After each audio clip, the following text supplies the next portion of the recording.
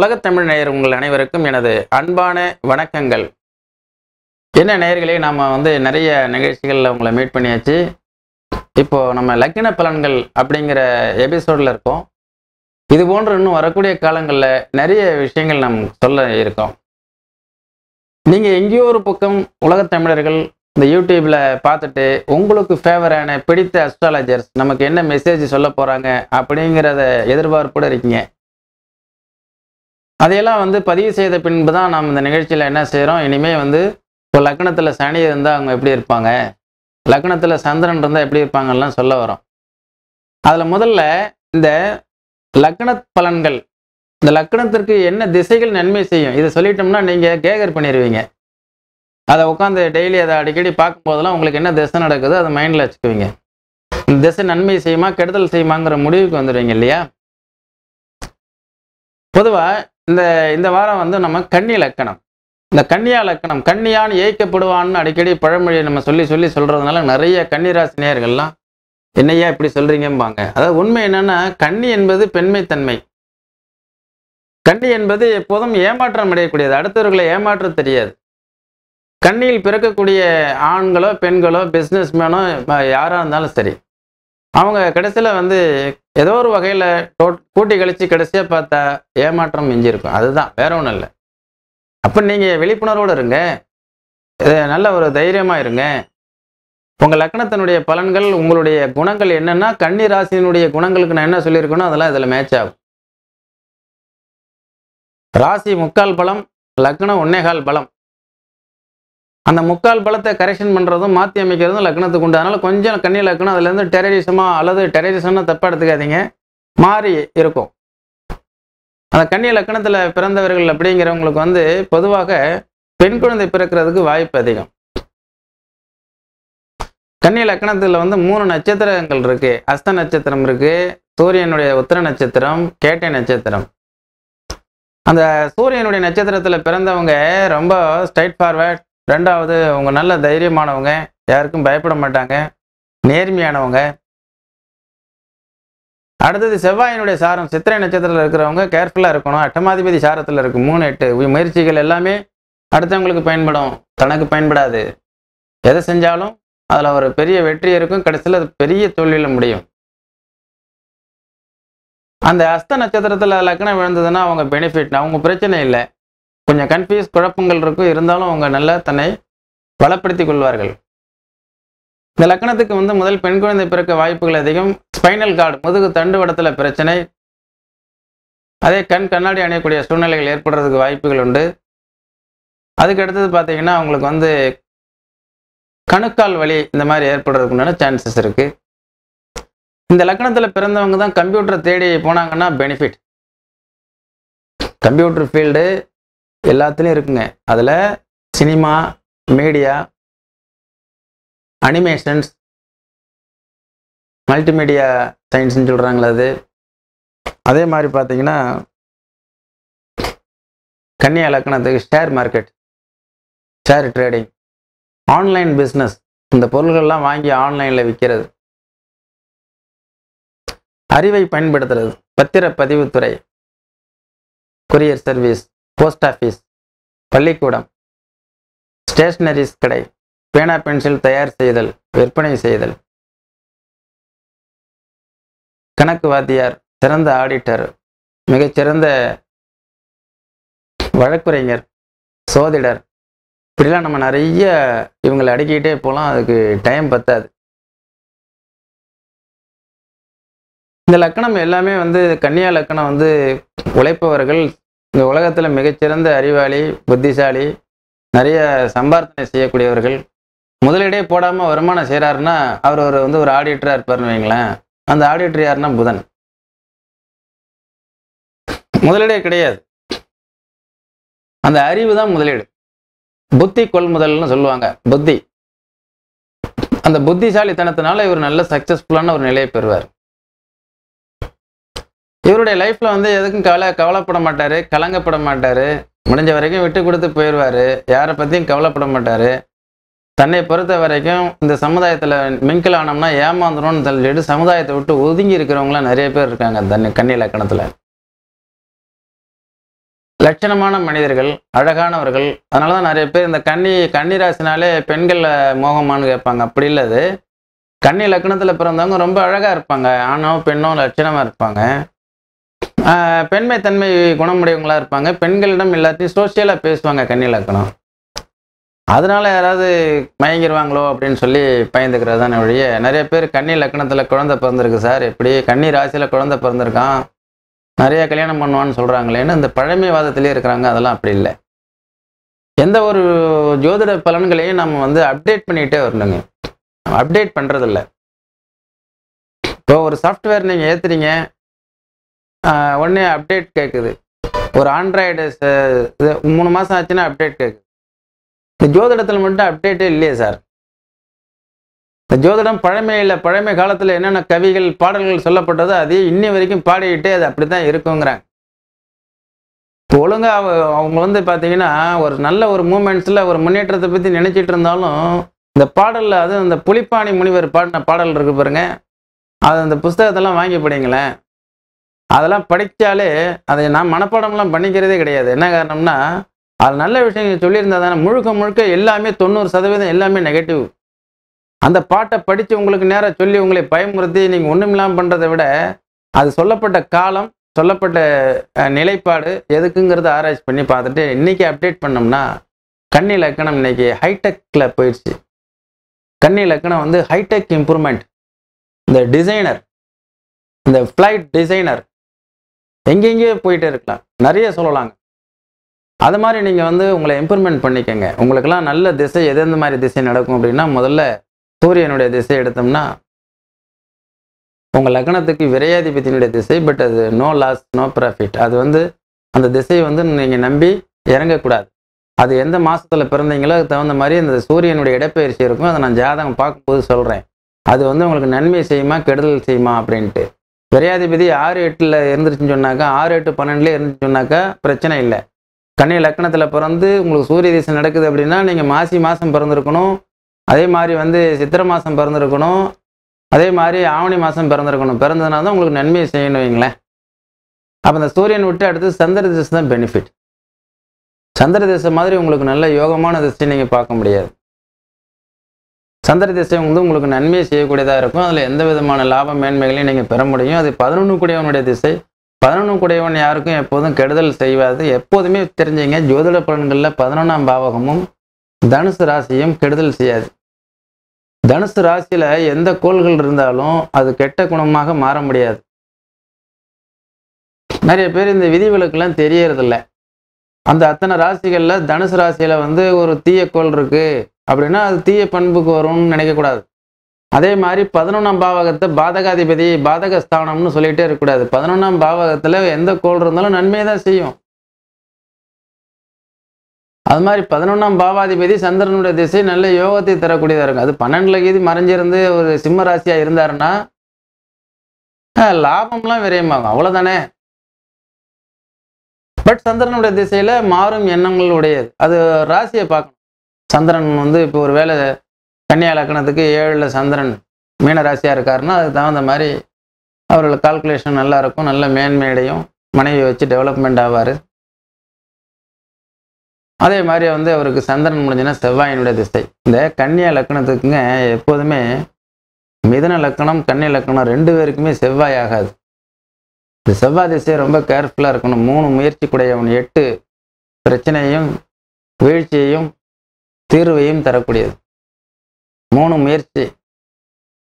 எட்டுங்கிறது வீழ்ச்சி.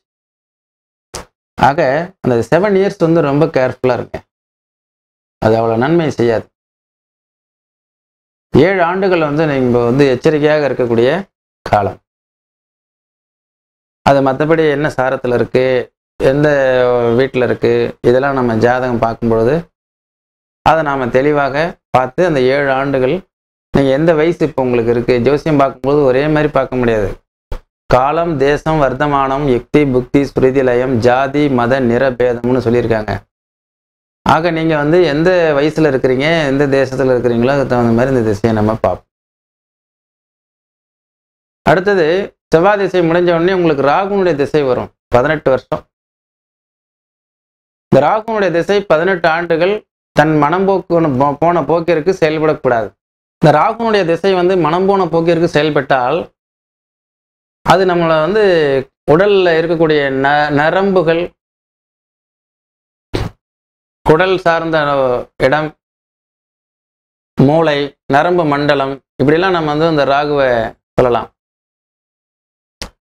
அந்த புதனுடைய லக்னாதிபதி நீங்க மிகச்சிறந்த புத்திசாலி. ராகு திசையில புத்தி கெட்ட வேலைகளில் ஈடுபட்டால் தோல்வி நிச்சயம். நீங்க என்ன ரூட்ல போறீங்க? நான் தான் உங்களை ஹைடெக்கா இருப்பீங்க. ஹைடெக் லெவல்ல இருக்கக்கூடியவங்க கன்னி இலக்கணம் மிதன இலக்கணம். இந்த ஹைடெக்கை விட்டுட்டு லோ டெக்னு நீங்க இறங்குனீங்கன்னு வச்சீங்க இந்த கேது திசை அதாவது ராகு திசையில. உங்களுக்கு எதுக்கு வந்து ஒரு மதுபான விடுதி தேவையா? உதாரணத்துக்கு சொல்ல வரேன். கம்ப்யூட்டர் சாஃப்ட்வேர் லைனில் போயிட்டு இருக்கக்கூடிய நீங்கள் ராகு திசை வந்ததுங்க மதுபான விடுதி போய் ஒன்று ஆரம்பிக்கலாம்னு ஆரம்பிச்சேங்க. நல்லா தான் போச்சு அப்புறம் பார்த்தா எல்லாம் லாஸ் ஆயிடுச்சுங்க. கீழே விழுந்துட்டேன். நீங்கள் தரம் தரத்தோட சேரணும். உங்கள் லக்கணத்துக்கு தகுந்த மாதிரி உங்கள் பிஸ்னஸை செலக்ட் பண்ணிட்டு அதுலேயே போயின்னா ராகு நம்ம தப்பிச்சுக்கலாம். அதே மாதிரி உங்களுக்கு வந்து பார்த்தீங்கன்னா இந்த ராகு பதினெட்டு வருஷமும் யோகத்தையோ அவயோகத்தையோ தரப்போவதில்லை. இது தீர்மானிப்பது உங்களுடைய லக்னம் தான் நீங்கள் அந்த நேரத்தில் ஜாதகத்தை எடுத்து பார்த்து இந்த ராகு யார் எந்த சாரம் எந்த வீடு எந்த நட்சத்திரத்தில் இருக்கிறது என்று பார்த்து எவ்வளோ காலங்கள் இருக்கிறது அதில் என்ன புத்தி நடக்கிறதெல்லாம் பார்த்து அதுக்கு தகுந்தவாறு உங்களை மாற்றிக்கொண்டால் வெற்றி நிச்சயம். அடுத்தது குரு மகாதிசை. பொதுவாக இந்த லக்னத்துக்கு குரு பாதகாதிபதி. ஏன்? நான் முதலே சொன்னேன் இந்த அறிவாளி புத்திசாலின்னு ரெண்டு. புத்தி என்பதற்கு புதனும் அறிவு என்பதற்கு குருவும் ரெண்டு பேருக்கும் எப்போதுமே ஆகாது. ஒரு அறிவாளியும் முட்டாளும் ஒன்றா சேர்ந்துக்கலாம். ஏன்னா முட்டாள் வந்து அறிவாளி சொன்னதை கேட்டுக்கிட்டு சிவனேன்னு போயிடுவான் ஒரு புத்திசாலியும் முட்டாளும் ஒன்றா சேர்ந்துக்கலாம் அதுவும் பிரச்சனை கிடையாது. ஒரு அறிவாளியும் புத்திசாலியும் அங்கே ஒன்றா சேர்ந்தா அங்கே வந்து தர்க்கம் தான் வரும். அப்போ இந்த திசையில் கன்னி லக்கணத்துக்காரருக்கு அவர் ஃபேஸ் பண்ணக்கூடிய அந்த குருமகா திசையில் பல்வேறு விதமான சிக்கல்களையும் பிரச்சனைகளையும் அவர் எதிர்கொள்கிறாரு இது முரண்பாடு இந்த அறிவு புத்தி முரண்பாடுகளுடைய வெளிப்பாடு. சரியா போச்சுங்களா? இந்த ரெண்டும் நடக்கும்பொழுது தேவையில்லாத பிரச்சனை. சரி இப்போ இந்த காலகட்டங்களில் இந்த அடுத்தது சனி திசை வருது. இந்த லக்கணத்திற்கு யோகமான திசையே சனி மகா திசை தான் அதுவே இரட்டை ஆதிபத்தியம் அஞ்சு ஆறு கூடையவனா வருதே அப்படின்னு பார்த்தீங்கன்னா அப்படிலாம் இல்லை. அஞ்சாம் பாவகம் வந்து அறிவை வந்து அது பிரகாசிக்க செய்யும். அறிவை அறிவு வந்து புத்தி ஸ்தானம்னு சொல்லுவாங்க. அதை புத்தியும் சொல்லி எடுத்துக்கலாம். நீங்கள் வந்து அதை நீங்கள் ஒரு சிந்தனை சிந்தனா சக்திக்கு உண்டானது. அஞ்சு அஞ்சாம் இடங்கிறது பூர்வ புண்ணிய ஸ்தானம்னு சொல்லுவாங்க. முன்னோர்களுடைய ஆசீர்வாதம் பாங்க. முன்னோர்களுடைய ஸ்தானம் பாங்க. எது எப்படி இருக்கோ அஞ்சு வேலை செய்யும்போது ஜாதகன் சுதாரிச்சுக்குவார். அதுதான் அவருக்கு யோகம். இந்த குரு திசையில் அடிபட்டது இந்த சனி திசையில் ஆவரேஜ் பண்ணி கொண்டு போயிட்டு அதுக்கப்புறமா லக்னாதிபதியினுடைய புதன் திசை சந்திப்பார். அவரை ஒன்றும் பண்ண முடியாது. அந்த கன்னியா லக்னக்காரரு லக்னாதிபதி திசை வந்துருச்சுன்னா போதும். ஏன்னா ஒரு பேட்டனை உருவாக்கியிருப்பார் சனி திசையில். அதை கடுமையாக உருவாக்கி சனி திசையில் வந்து விளம்பரம் பண்ண முடியாது இல்லையா? விளம்பரத்துக்கு உண்டான பிளானட் வந்து பார்த்தீங்கன்னா புதன் தானே. அது எல்லாமே இந்த புதனுடைய திசை வரும்போது அது அற்புதமாக டெவலப் ஆகும். இந்த சனி திசை என்னெல்லாம் பண்ணும்? ஆறாம் இடம் ஒரு பக்கம் ஒரு பக்கம் கடன் சத்துருக்கள் எதிரிகள் உருவாக்கு இன்னொரு பக்கம் தன்னுடைய புத்தி அறிவுனால எல்லாத்தையும் சமாளித்து ஒரு மேன்மைக்கு வந்துட்டு இருப்பார். அதே லக்னாதிபதியினுடைய திசை அவருக்கு வரும்பொழுது என்ன செய்வார்? அதில் தான் அவர் வந்து அபரிமிதமான செல்வ செல்வாக்குகளையும் பிஸ்னஸ் எக்ஸ்டெண்ட் பண்ணுறதையும் அவர் நினைச்ச மாதிரியான எல்லா வெற்றியும் பெறுவதும் அந்த கன்னி லக்னத்துக்கு அப்போ தான் அவருக்கு ஏற்படுது. அதுலேருந்து தான் அங்கே ஒரு நல்ல ஒரு முன்னேற்றத்தையும் மேன்மையும் அவர் பெறுறார். அதற்கு அடுத்தது பார்த்தீங்கன்னா அடுத்தது கேது மகாதிசை செவன் இயர்ஸ் கேது அப்படிங்கிறது வந்து அறிவினுடைய மிகுதியினால இப்போ நூதனமான மோசடி அப்படின்னா கேது. நூதனமான பிளானட் எது அப்படின்னா அது வந்து புதன். அந்த நூதனனையும் மோசடி செய்யக்கூடிய மோசடி கிரகங்கிற அந்த கேது இருக்கிறதுனால நீங்கள் அதில் ஷார்ட்கட்டில் வருமானம் செய்கிறதுக்கோ ஷார்ட்கட்டில் உங்களை டெவலப் பண்ணுறேன்னு சொல்லி பணத்தை கேட்டாங்கனாலோ நீங்கள் இன்வெஸ்ட்மெண்ட் பண்ணக்கூடாது. கன்னி இலக்கணம் மிதன இலக்கணம்? அந்த கேதுனுடைய திசை வரும்போது கேர்ஃபுல்லாக இருக்கணும். ஏதோ கொண்டு வந்து தரேன்னு சொல்லிட்டு வாங்கிட்டு ஏமாத்திட்டு போயிடுவாங்க ஏன்னா புதன் அப்படிங்கிறது நானே புத்திசாலி அப்படின்னு புத்திவான் பலவான். ஆனால் அந்த புத்திசாலியை அதிமேதாவையும் புழுத்தடைக்கி விடுவான்னு சொல்லுவோம் இல்லையா? அது அந்த கேதுனுடைய திசையில் ஏற்படும். கேதுனுடைய திசை வரும்போது எச்சரிக்கையாக இருங்க கவனமாக இருங்க. இருக்கிற அசட்டுகளை வந்து மனைவி பேருக்கோ மக்கள் பேருக்கோ எழுதி வைங்க. அதை கொண்டு போய் எங்கேயுமே அடமானம் வைக்காதீங்க. அடமானம் வச்சு நீங்கள் செஞ்சீங்கன்னா அது உங்களுக்கு லாஸ் ஆகிடும் அதே மாதிரி வந்துட்டு எந்த ஒரு தெரியாத தொழில்கள்லையும் ஈடுபடாதீங்க. ஏதாவது போகணுன்னா ஜாதகத்தை எடுத்துகிட்டு வந்து பார்த்துட்டு அதுக்கப்புறமா செய்கிறது உங்களுக்கு நல்லது. சரி அந்த திசை போச்சுன்னா அடுத்தது வந்து உங்களுக்கு சுக்கர திசை வருது பாருங்க. இது சாகிற நேரத்தில் சங்கரா சங்கராங்கிற மாதிரி இந்த திசை தான் உங்களுக்கு வந்து தனபாக்கியாதிபதி திசை. இதெல்லாம் சின்ன வயசுலேயே வரணும்.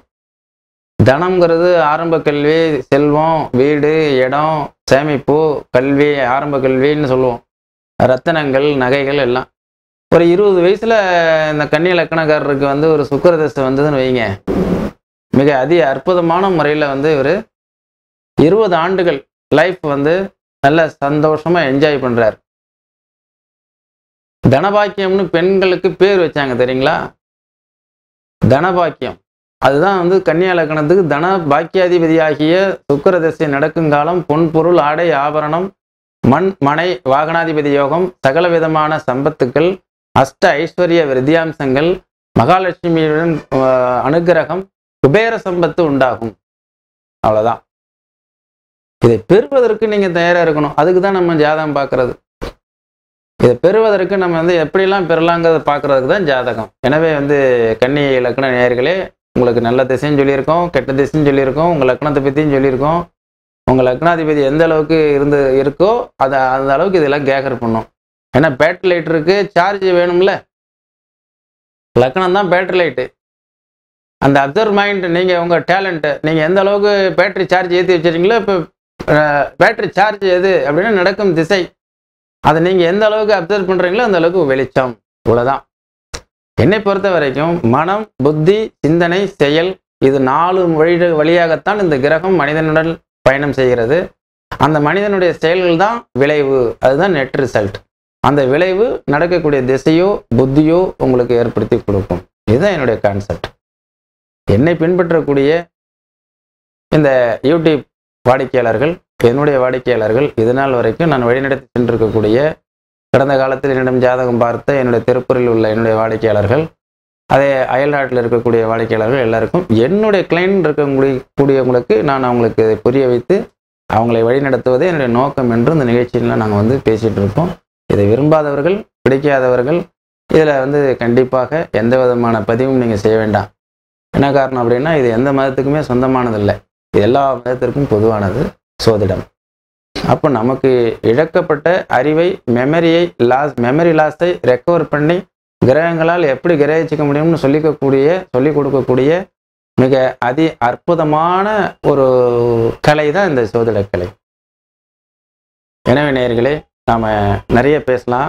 உங்கள் ஜாதகத்தை எடுத்தோம்னா எக்கச்சக்கமான விஷயங்கள் நிறைய இருக்குது நம்ம இந்த லக்ன பலன்களை இப்போ பார்த்துட்டு இருக்கோம். இன்னொரு நிகழ்ச்சியில் மீண்டும் நான் உங்களை சந்திக்கிறேன்.